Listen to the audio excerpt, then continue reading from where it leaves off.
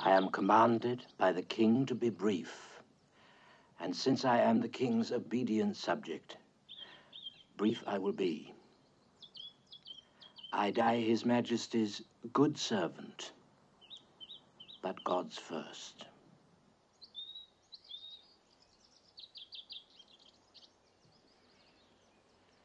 I forgive you right readily.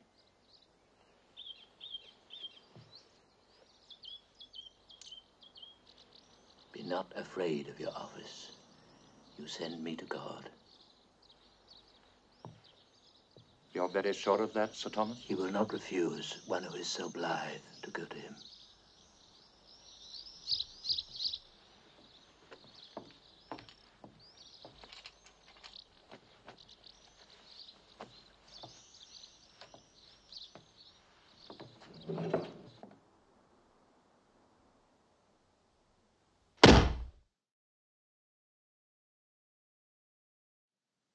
Thomas More's head was stuck on Traitor's Gate for a month.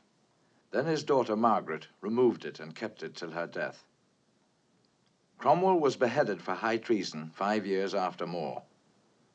The Archbishop was burned at the stake.